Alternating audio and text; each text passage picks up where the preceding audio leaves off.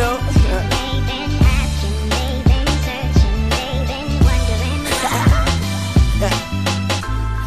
What's up, PS Bermuda? It's Christine Rawlins coming to you from Redemption Studios, New Jersey, with Mel Carter.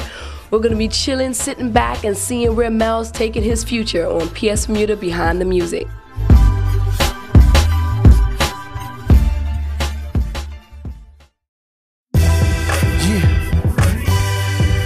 Welcome. What's up, Mel? What's up?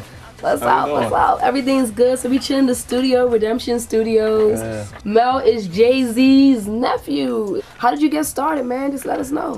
When I first saw, I just love music, so you know what I mean, any mood I listen to music, any mood I'm in.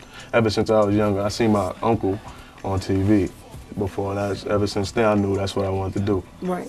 But I used to write like poems and all that stuff to myself. I ain't never tell nobody, but I just kept it because I was shy. Oh, okay, okay. So then I moved to Jersey. I was like probably 11, 12.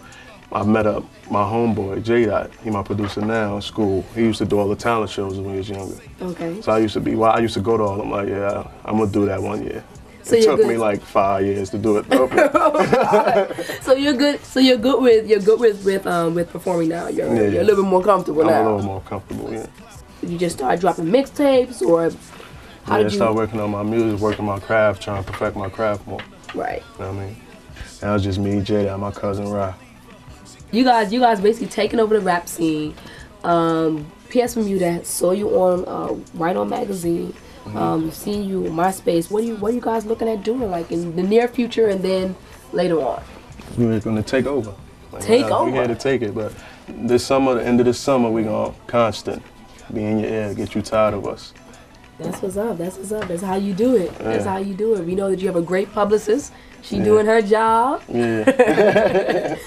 If if if someone wants to be an aspiring rapper, what would be something that you would like to tell them as far as the studio, as far as discipline is concerned? It's like anything, anything you want to do, not even just music. It's hard work. I took it from Floyd Mayweather. Hard work, dedication.